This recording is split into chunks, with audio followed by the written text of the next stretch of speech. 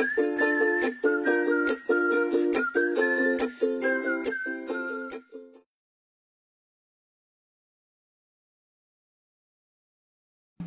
À, chị Thanh Huyền này, hôm qua chúng ta đã học được những phần nào theo quy tắc trong cuốn học đánh vần tiếng Anh rồi nhỉ? Hôm qua thì chúng ta đã nghe về những từ nội dung, còn hôm nay thì chúng ta sẽ tiếp tục với những từ chức năng nhé. Ờ, không biết từ chức năng là những từ như thế nào hả chị Thanh Huyền?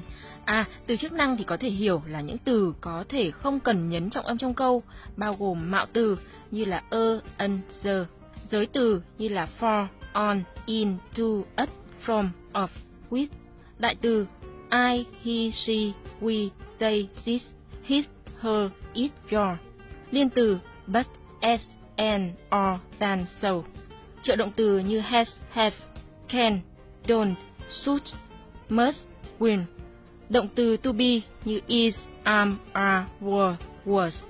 À, vâng, tôi cũng đã đọc cuốn học đánh vần tiếng Anh và biết là sẽ có hai cách đọc từ chức năng là không nhấn trọng âm và nhấn trọng âm. Với cách không nhấn trọng âm, bạn hãy đọc thành âm ơ.